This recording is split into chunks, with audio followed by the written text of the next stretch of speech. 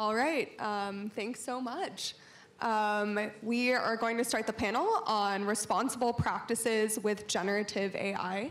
Um, my name's Hope Schroeder. I'm a PhD student at the MIT Center for Constructive Communication and MIT Media Lab, where I do applied AI research. And I'm happy to host a really exciting panel of some leaders um, in companies pioneering the field of responsible AI. I'll give a qu few quick intros before launching into the questions we have. Um, so Arun Ravindran is the chief data scientist and a partner at BCGX, joining BCG in 2016, where he grew the data science team from 40 people to over 3,000. He's built and deployed machine learning models for over 20 years, including language models for Arabic and Urdu during the Iraq War.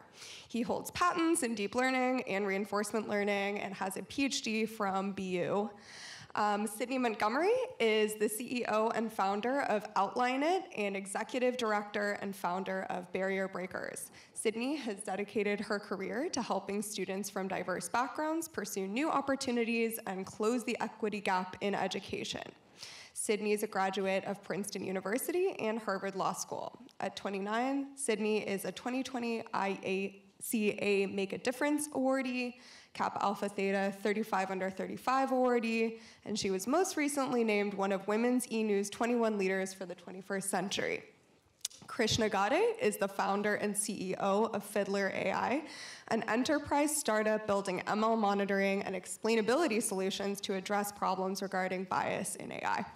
At Facebook, he led the team that built Facebook's explainability feature, Why Am I Seeing This? And he previously held senior engineering leadership roles at Facebook, Pinterest, Twitter, and Microsoft. At Fiddler, his goal is to enable enterprises across the globe to solve this problem. Thank you all for joining us. So, um, we've heard a lot of different issues that touch on potential issues with responsibility in AI. Um, the questions I have for you today were compiled with input from the Generative AI for Constructive Communication course, my lab, the MIT Center for Constructive Communication, and some audience members. I'm going to ask the first one to Krishna.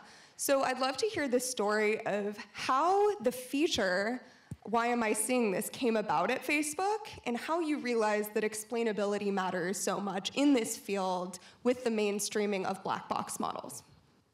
Thank you. Hi, everyone. Uh, yeah, so um, when you know Facebook was implementing machine learning almost from 2012 onwards, you know, to recommend news content and ads. Um, and obviously, with the progress in AI, um, the complexity of the models increased, and and by the time I was uh, I was there, we were already deploying you know quite sophisticated deep learning models that would you know, look into the activity of users and, and, and sort of suggest new stories and ads.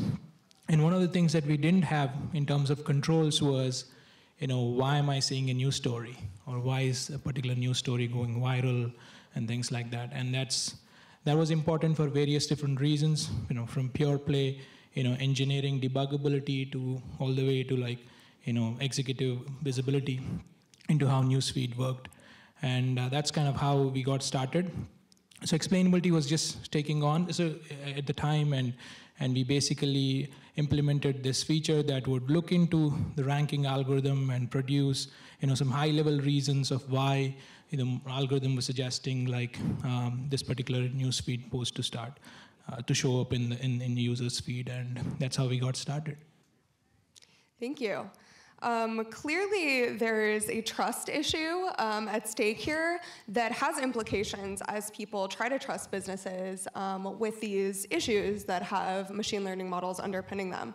Arun, I'm curious to hear from you if you think that responsible practices and the financial incentives of businesses in this space are compatible and how you go about thinking about that for your huge team at BCG responsible practices and financial compensation, right? Financial incentives. So uh, last year, I think BCG did a study with Sloan, and what we realized is about 84% of organizations agree that responsible AI is something that they want to invest on, but only quarter have like anything in place for anything like ethical or responsible AI. So this is still like pre-ChatGPT, generative AI rush, right? The big gap is more in terms of uh, concept and what happens in practice. I mean, there is still like uh, senior leadership buy-in that's still work in progress. Uh, resource allocation is still work in progress. Uh, how you align this with like specific companies' values is still a work in progress. And uh, that's the reason I say this is still like very much matching those two is, is, is, still a work in progress, but several industries are making big progress. I mean, we work with like thousands of companies in this uh, requests in this context, yeah. Thank you. Um, what have you seen in terms of what increases trust um, in this space that you've seen?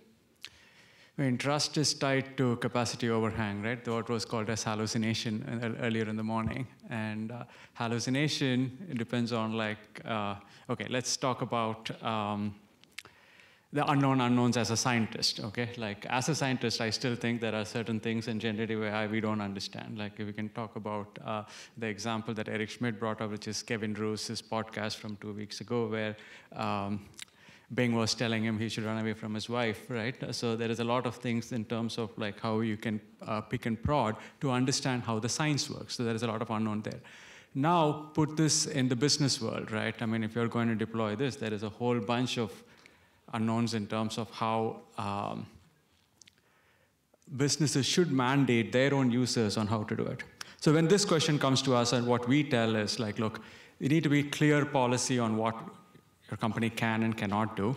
There should be a team who is reviewing to say that how these policies evolve with changing technology, science, legal changes. And these policy changes need to percolate down to the organization, but all this need to be capped by what I would call as like a test and learn or a sandbox or a VM environment where like uh, within companies, select employees or maybe the entire company can play with ChatGPT uh, or like technology to understand like what is what works, what doesn't work, and like have the right type of policies in place.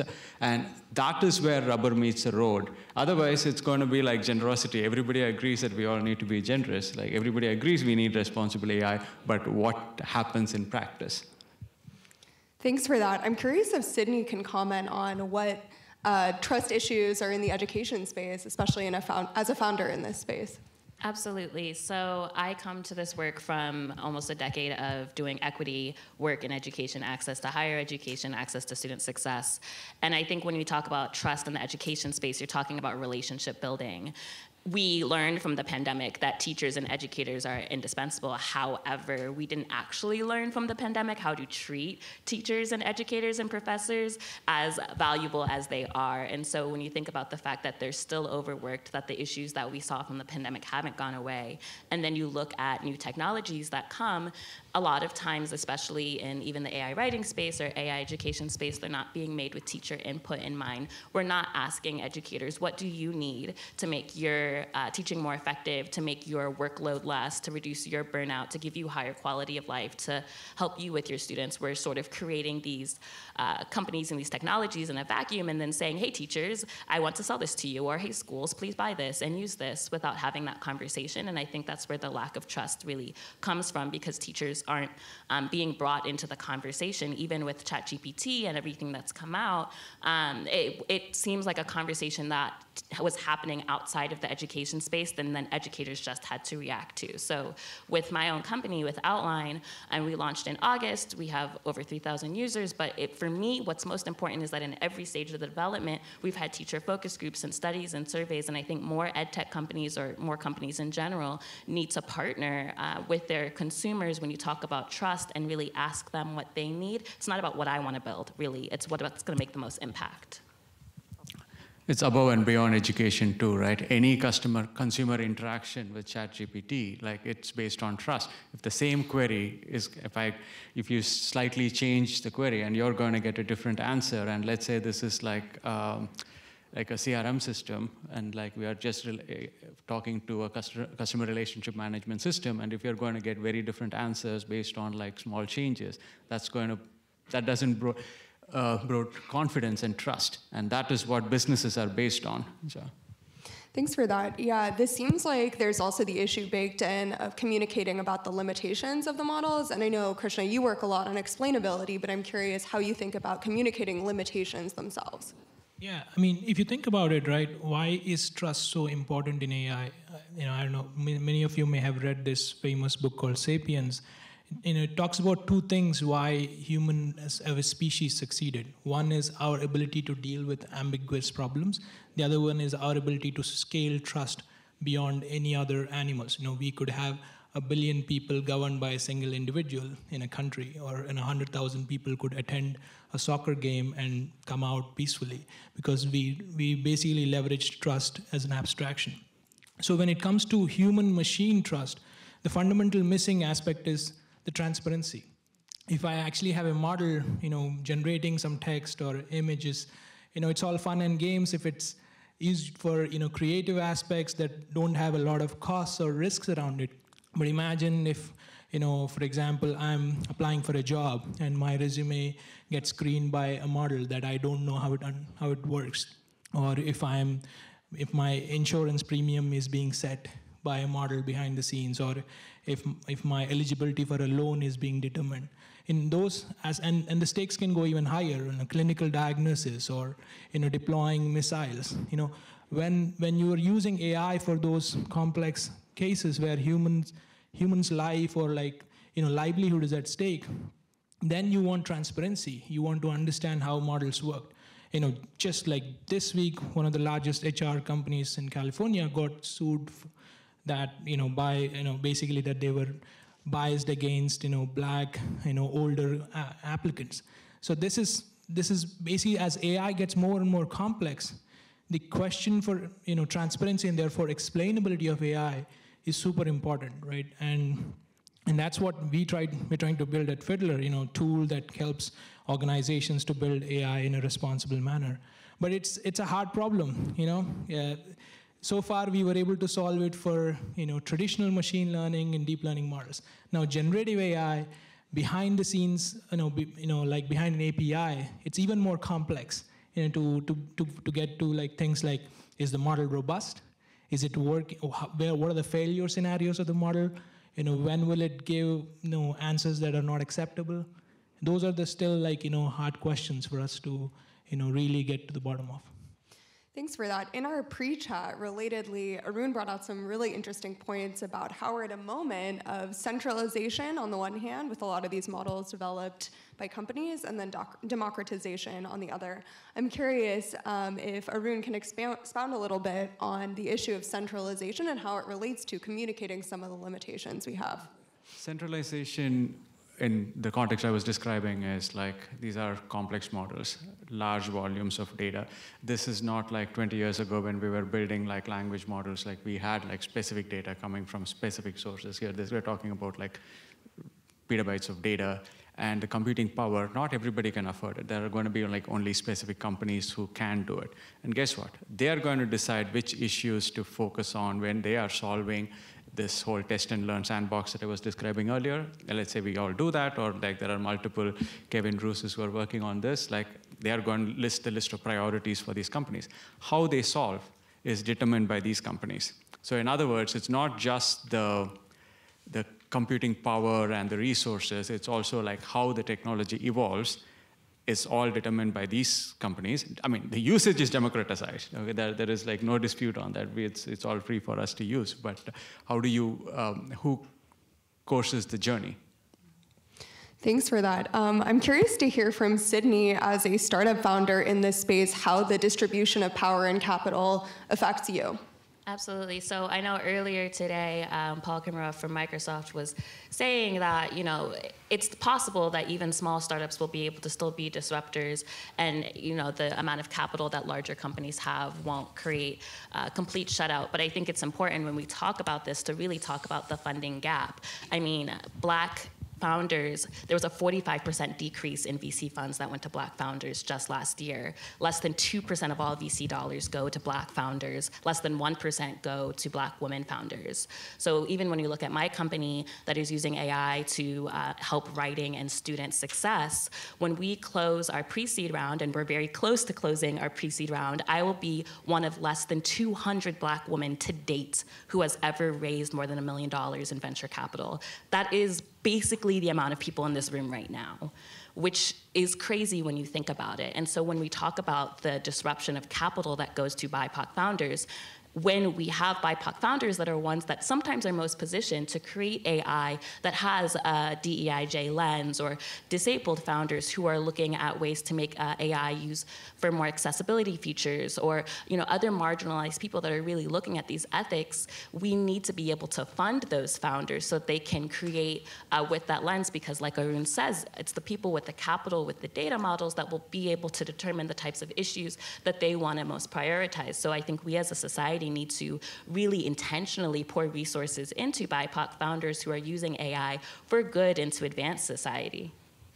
Thank you for that. It's critical to draw attention to those important issues. And kind of on that note, um, on the other hand of centralization, we have this theme of democratization. It's easier than ever for people without a coding background to interact with these models in a really exciting way.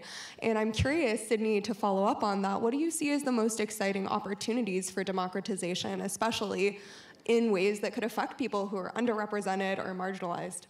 Absolutely. So one of the things that is possible, depending on uh, paywalls and access, of course, if we democratize it into the education space, is uh, to use AI to help underserved students, and also just to raise all student success. But specifically, when you look at underserved students in uh, Title I schools or underfunded schools, they don't necessarily have as much access to maybe one-on-one personalized attention. So just to give like a quick anecdote or example, um, one of the things I'm really interested in is using AI in writing to help create thought partnership with students. So a student at a well-resourced school, they might only have 12 students or 20 students in their class. They might have educated parents at home. They can talk through their essay idea with their teachers, with their parent at home. But a student in an underfunded school, maybe the teacher has 35 students at various different levels. That student doesn't get the benefit of scholarly discourse, which is something that also happens in a liberal arts education. We look at highly selective schools, right? And so that training comes from K-12. If a student doesn't have that access uh, to an educator educator or a parent at home who can provide that scholarly discourse, then they're not able to um, maybe have as refined an argument and develop those skills. And so thinking about democratizing AI in classrooms in which you can basically have a teacher helper or an additional educator to help raise all students. I mean, right now only 73% of students actually are failing national writing proficiency standards. 89% of black 8th and 12th grade students are failing national writing proficiency standards. So when I think about democratizing access to AI in education, it's changing those numbers numbers, it's changing literacy rates, which is a fundamental skill, so that we can also impact the workplace. Wow, those are striking statistics. Thanks for um, raising those points. I'm curious to hear from Krishna, then Arun, on if you see any potential downsides of the democratization, especially as it relates to putting tools in the hands of people who maybe won't know how all of them work or what the potential risks are of deploying them at scale. Yeah, absolutely. You know, we have been talking about AI governance and responsible AI for the past few years, right? But as Arun was suggesting, you know, less than 20% of organizations claim that they've deployed responsible AI, but it's also not, you know, completely implemented.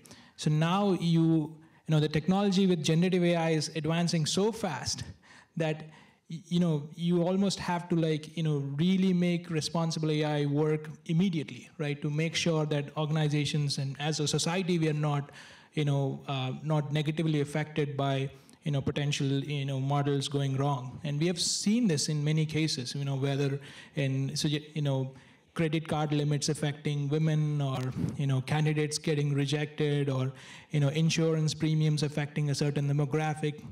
I mean the, these are things that are likely to happen even more when you know technology that you know, it's it basically going to democratize or lower the bar to build AI because literally today, you know, today AI gets built by practitioners like the data scientists and machine learning engineers.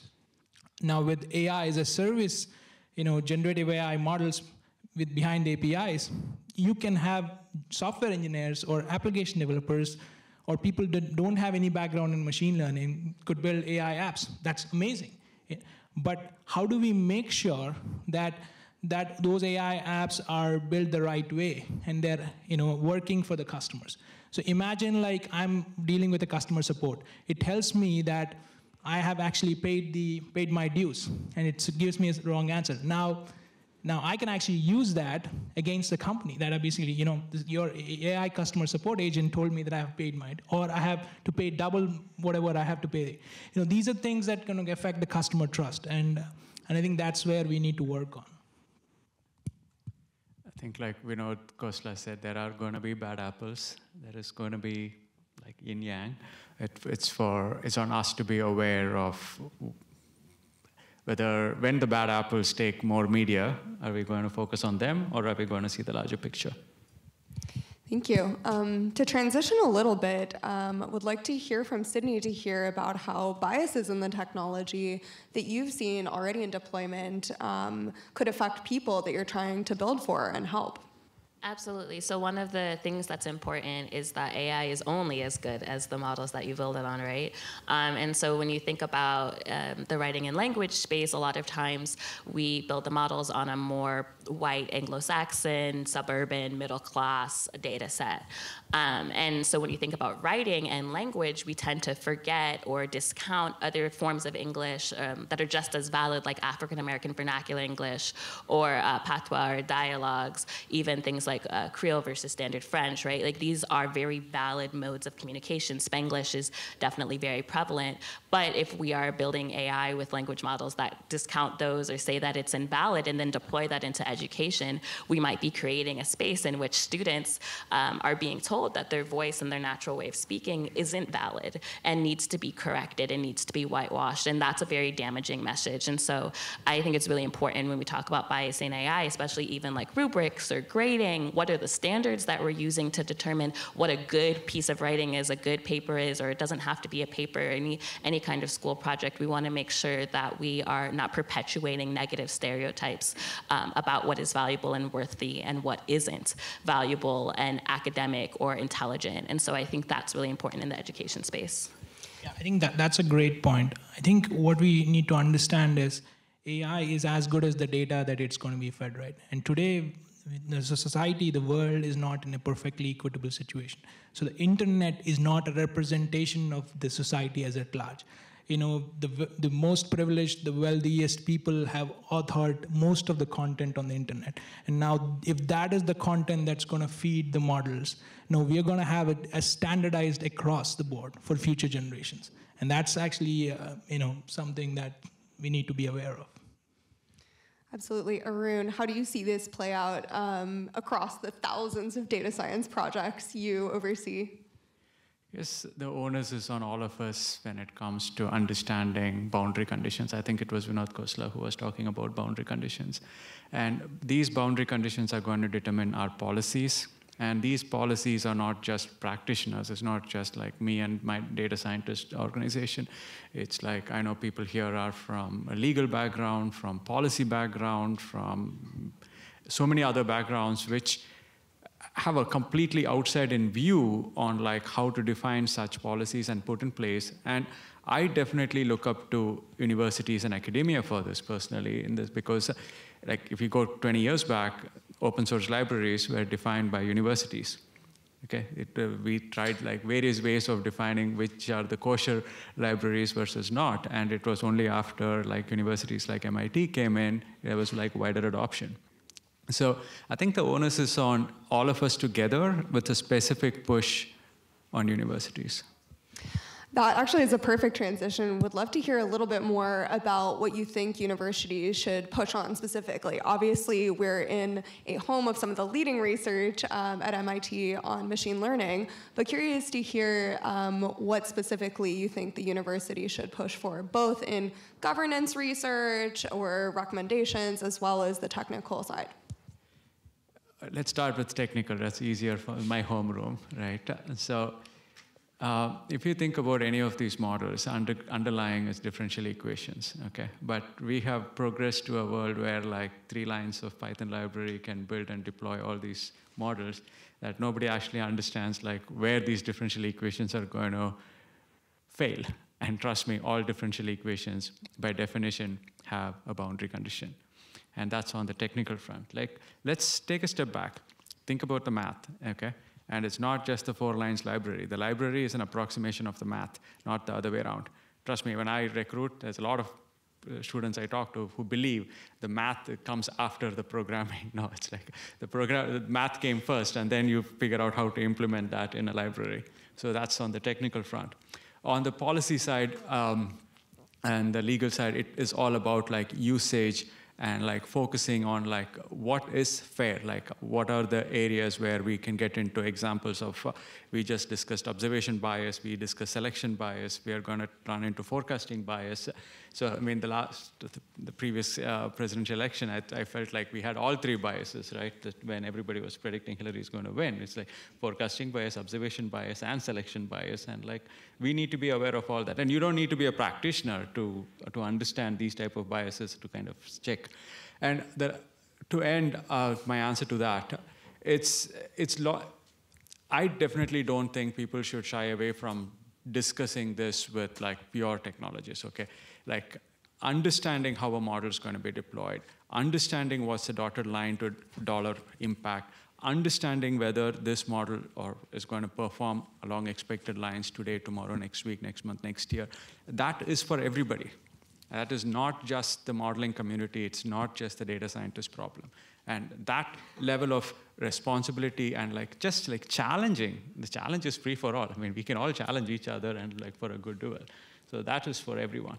And academia is the right place for it.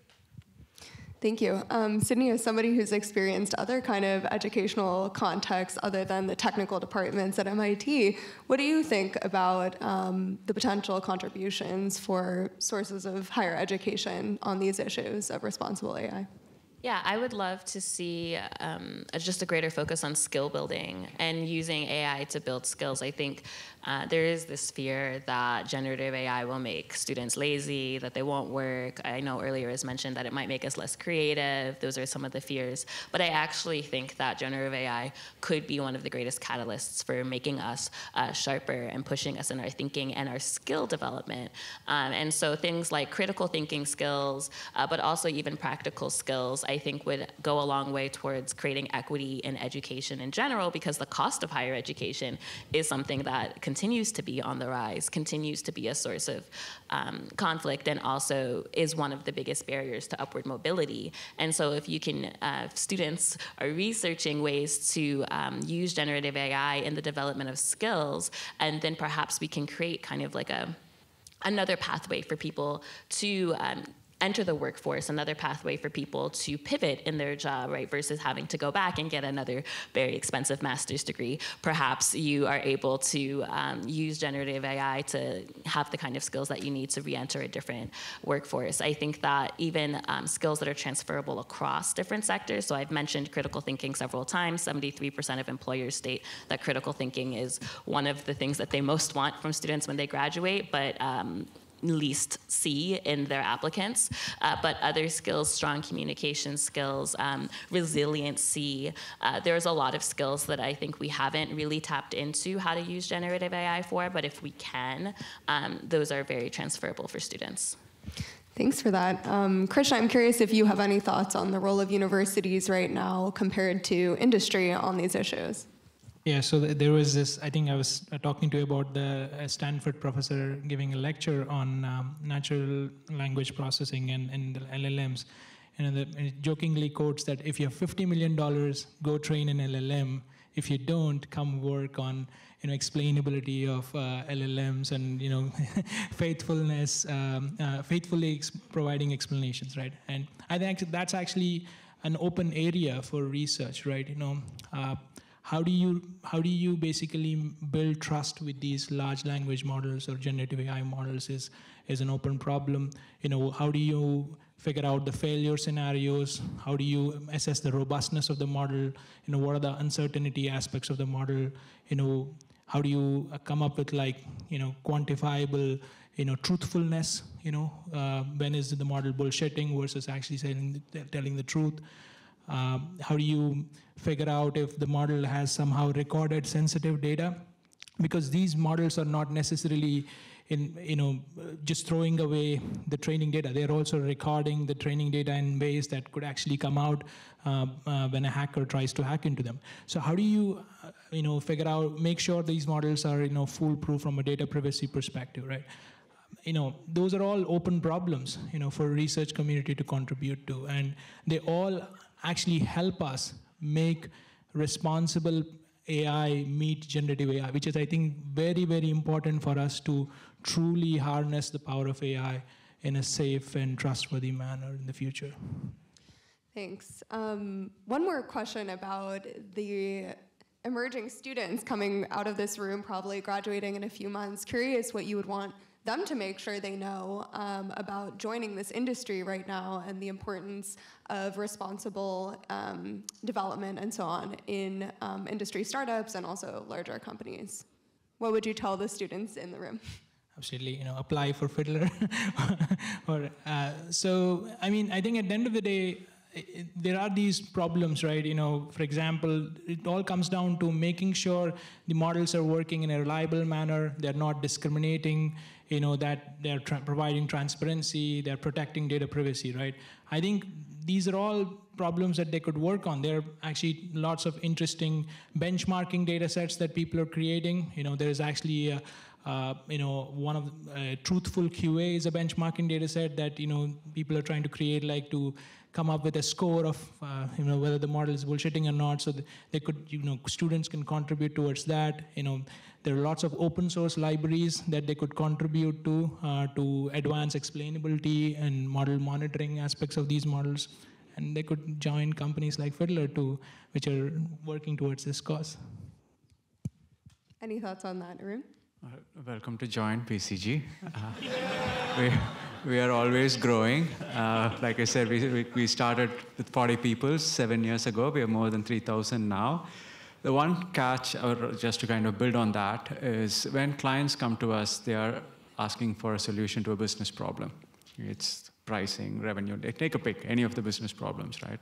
So those business problems, how we build and solve, is predicated on how we can explain.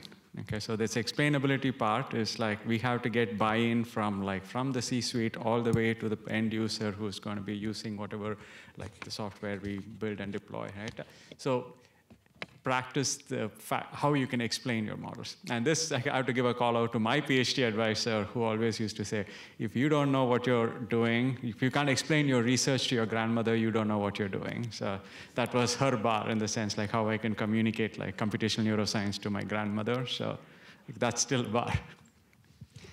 I think I would just add um, the students that are going into the industry to always be asking tough questions about bias and about equity. So often, the fact of the matter is that many of the engineers who will graduate from the school do not necessarily come from a marginalized background.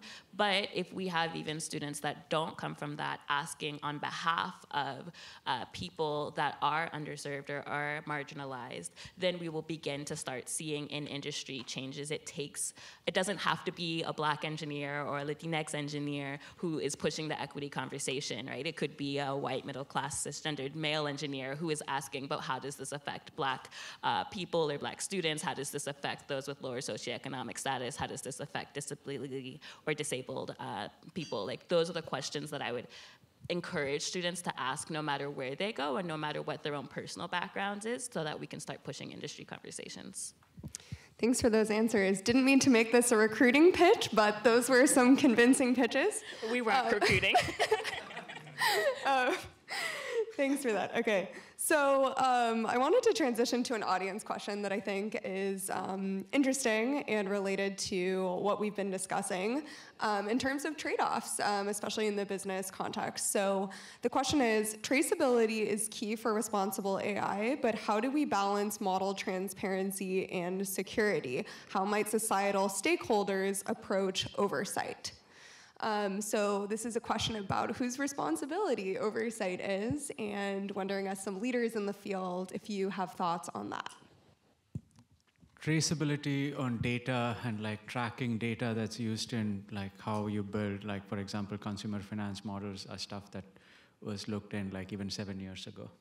Okay, um, so this is not new in terms of how we can uh, track lineage and also how we can uh, federate some of the data sets to, to build specific industry I'm not talking about like the ChatGPT level, like large scale LLMs. I'm talking about like AI models that we can build and deploy where like sometimes some certain data can be like, has to be taken out.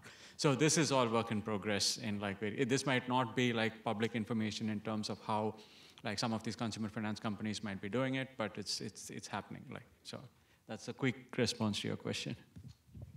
Yeah, I mean, I think it's not just one teams or you know one person's issue, right? I think most companies that I know try to do AI governance would just have some you know mid-level, low-level person, you know, oversee AI ethics, and it's put it's kind of putting lipstick on a pig. I think responsible AI needs to be seen as you know a, a, way to actually build better AI for your organization for your consumers, right? I think it's you know that means that the entire organization the data science team the engineering team the compliance team, and everyone need to come together and on, on and actually on the same page. And and that and, and some of these problems are hard when it comes to complex models. You know how do you actually you know figure out what what aspects of the data is affecting the model? You know um, how do you you know how do you really make sure that the data sources uh, that you know that are being cited are actually being used in terms of like the generated text or generated image. I think these are these are hard problems that one need to work on. I mean you know we don't have ready-made solutions right now but you know this this is something that needs to be prioritized. You know i know we are in this gold rush moment with generative ai but you know this is why you know organizations need also need to invest in these safe practices of building better generative ai models for the society Thanks for that. Yeah, I think that we have an interesting conversation coming up um, regarding copyright, which I'm sure will touch on some of the data provenance issues that affect a lot of the artists we've heard from today and many other fields. Um, as we kind of wrap up here, we've touched on so many heady problems that uh, feel potentially intractable or really hard to solve with these black box models. But Sydney, I want to hear what's keeping you optimistic about the field. Absolutely. Um, I, I tend to be an optimistic person in general, which is a little um, unusual because I'm also a former attorney, and I feel like lawyers are not optimistic by trade, um, but uh, educators are. Um, and so, one of the things that makes me really optimistic is that we're having these conversations, that these conversations are coming down uh, past just an engineering industry level, but really like my piano teacher and I talk about AI, my mom is asking me about AI. Um, and, and those are really exciting things for me because I think that means that we're getting to a place where we'll have more voices be heard and more people weighing in. Um, maybe even not from a technical background, but from various different lenses um, that are weighing in on how we use AI and how we could use AI to kind of solve some of the social uh, justice issues that we have, um, some of the just social welfare issues that we have. And so for me, um, that's very exciting. When I started Outline, I feel like no one was talking about writing or digital writing tools. And obviously with ChatGPT, everyone is talking about AI writing. And so that's been an interesting space for me to kind of shift into. Um, but I hope that we stay in that space. I hope that, you know, especially from education, we talk a lot about STEM, but I think talking about writing, communication, ELA is important. Thanks, Krishna and Arun. The fact that we are here talking about this, you know, you know, the full day was all about you know exciting part of generative AI. As an engineer, I get excited about the aspects of like what can be built. But the fact that we have actually this session on you know, focusing on responsible practices is great, right? You know, the fact that you know civil society and governments have woken up. You know, we have a draft for AI Bill of Rights. We have uh, an NIST framework for guidelines around minimizing risk around AI. You know, that you know, there are companies working with tools like Fiddler, you know, with the intention to deploy responsible AI practices. You know, we work with large banks, insurance companies, HR companies. These are all, these give me hope that, you know, there are enough people like us believing in this mission, you know, towards pushing responsible AI and making it you know, you know, operationalized across across the enterprise. I think that's that's what keeps us, you know, excited. The final word with Arun. So we did uh, scouting, you know, BCG. We do a lot of internal projects to understand like what is going to happen with Gen AI. Of course, I can't discuss everything, but I can tell you one thing. Uh, within the first two weeks, uh, we identified close to 100 use cases uh, business cases that are going to be like transformative in the coming years, weeks, months, years. So I'm super optimistic because I sit in the overlap of like data science and business. So this is going to be, I'm, this is going to be very exciting. Thank you all so much. Um, really appreciate the diverse perspectives that are on this panel startup, um, BCG, people in the industry a long time, people from a different background in education. So thank you all so much for contributing your perspective, and I hope we can keep this conversation alive because it affects all of us in this room. So round of applause. Thank you. Thank you.